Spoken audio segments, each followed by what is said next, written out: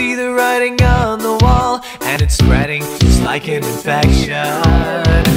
The problem is we'd rather hate than love, or blame improper font selection.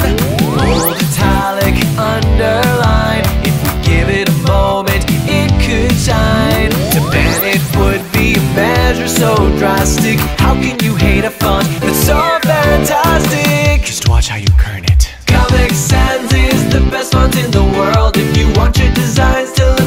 they're done by little girls, Comic Sans best used in moderation. Come on, join me, the Comic Sans Nation.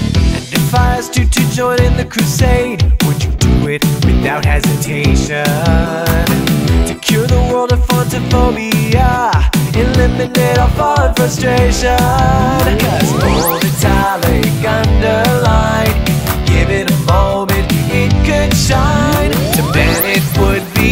a measure so drastic. How can you hate a font that's so fantastic? Slanted is the new italic. Comic Sans is the best font in the world. If you want your designs to look like they're done by little girls, Comic Sans best used in moderation. Come on, join me, the Comic Sans Nation.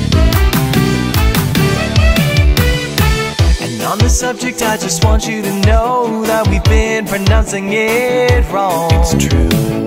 Sans part is actually French, so it should sound like a mix up. In a decade pop. Bold italic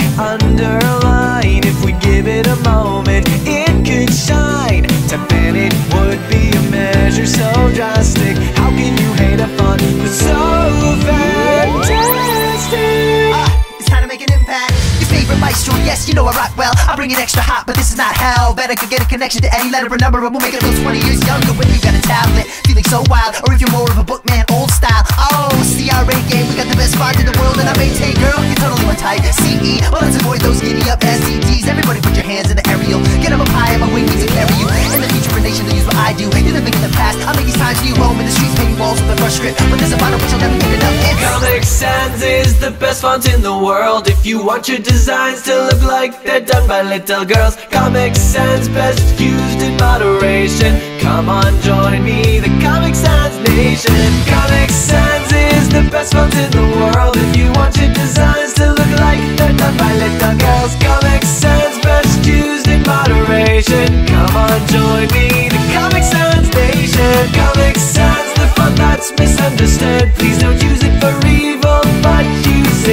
good. Comic Sans best used in moderation. Come on, join me, the Comic Sans Nation.